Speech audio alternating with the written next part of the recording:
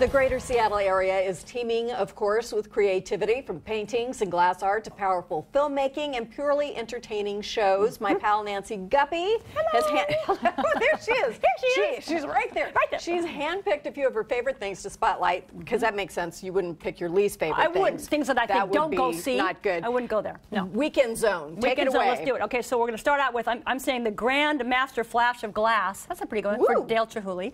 That so, could be a rap, maybe. totally. We can kind of write that. No, Uh, yeah. oh, well, with pop rocks in our mouth. yeah, I'm still trying to recover from my culinary pop rock. Okay, so Tacoma Art Museum has a permanent collection of Chihuly glass, and one of the site-specific pieces is called Ma Chihuly's Floats, and these are 39 um, floating glass There pieces. she is. There she is. Uh, that uh, Chihuly made for his uh, mother, Violet. So these 39 pieces, they were inspired by um, his 1991 trip to Japan, also by Dale's um, growing up in Tacoma and picking up glass floats on Puget Sound beaches. Oh, right? Remember seeing cool those kind of homage. things? Yeah, I loved those things. So they're um, installed right now. Every spring they come out and they stay up all the way through August. So if you take a trip down to the museum, you can check those out. There's also a lot of other cool exhibits. And of course, there's the Chihuly Glass Bridge and the hot shop to see Yeah. all that stuff going on. And so that never gets old. it does not get old. Yeah, it's really cool. All right, so let's talk film, shall we? Let's do. Okay, so there's two screenings at Northwest Film Forum I want to mention. The first one is a uh, filmmaker. His name is Adam Sekuler, and he's a local guy. He's made a very poignant documentary called Tomorrow Never Knows, and it's about Shar and Cynthia, a couple who are dealing with um, a dementia. So Shar was diagnosed early on, um, uh, early onset of Alzheimer's, and so she and Cynthia, her partner, they're trying to, and this is kind of interesting. They're pursuing the idea of a thoughtful and conscious Destroy death amidst the very chaotic mental decline.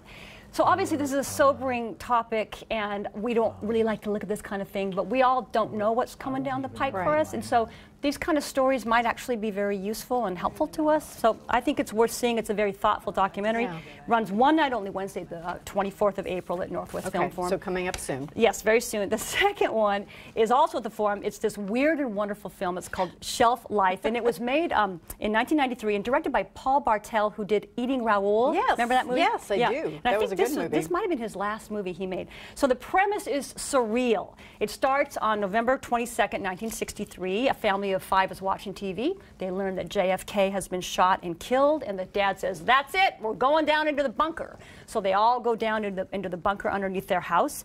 And the next scene is pretty much the entirety of the film takes place 30 years later in the bunker. So at this They're still in the bunker. Right. The Oh three kids, gosh. the two parents are not there anymore. They have not survived. So the kids, T- Tina, Scotty, and Pam, they're in their mid 30s.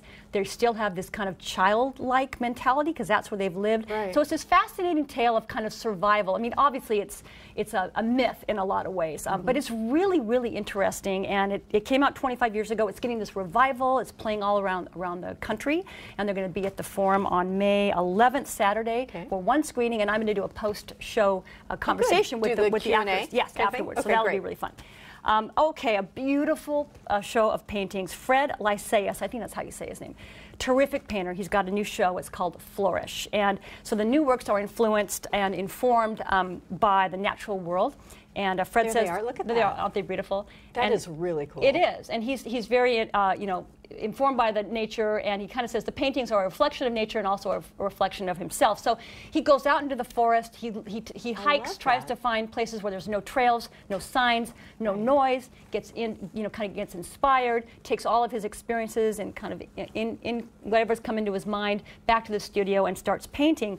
And he says, I love this, he thinks that the world is fundamentally harmonious. And, and how he kind of reflects that is he'll put kind of really unique and different flora and fauna together in the same Mm-hmm. painting. My takeaway is two things can be very, very different, and they can also thrive and survive and thrive together In the, the same, world in, the, in the together. I like that yeah. idea. So that show flourishes up through April 28th at uh, Patricia Rovzar Gallery um, downtown. Got it.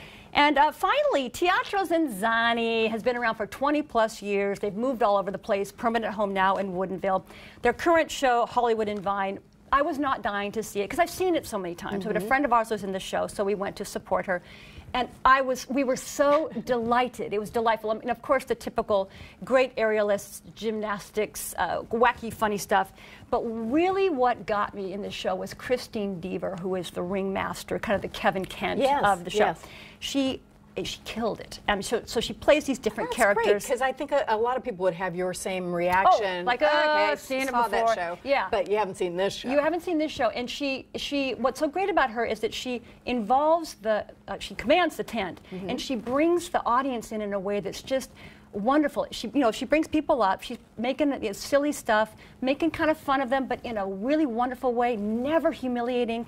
And it really they become the star of the show, the audience, cool. and the whole tent. All of us are, are, are pulling for them, you know. So that's that's quite a skill for, for her to be able to do that. Um, so anyway, I think that teatro is kind of one of those feel good experiences that you can kind of keep going back to. And, and this particular show runs through uh, April 28th, uh, Hollywood and Vine. And the next one, Love, Chaos, and Dinner, with um, the Caesar, Frank Ferrante, that opens on May 2nd. Very So, good. Yeah. And then there's Yes. Record Store Day. Yes. With you. Yes, Record Tell Store me about Day. this. So Record Store Day, we do a Record Store Day show for ArtZone every year, and, and this year we are uh, focusing, or we feature four bands, um, and so we, I don't know if we're going to be able to show it if we can, but we have, I, we did a promo where I end up getting a bunch of water in my face, which Oh. is kind of silly and fun, which I wrote the promo, so of course, you, you know, I, I, yeah, I liked it. But the, so four bands, we shot the show at um, the Royal Room, which I I, love know the you Royal love, Room. in Columbia City. Great so place. it's really about kind of um, making, you know, kind of raise, rising up or raising up this great live venue to see music, these four local bands, and then of course making a big deal out of record stores and the fact that they exist and we can all And go that in we and can support them. Yes, which is so important. Yeah, Nancy, yeah. thank you Oh, very much. Bet. Very, Appreciate it. You can catch. ArtZone with Nancy Guppy Friday nights at 8 on Seattle Channel. We've linked more information online, including how to stream past episodes. You can catch up with Nancy for as long as you want. Still ahead, a teeth whitening system be sick of me. work in minutes. Never, never. We'll be right back. Oh.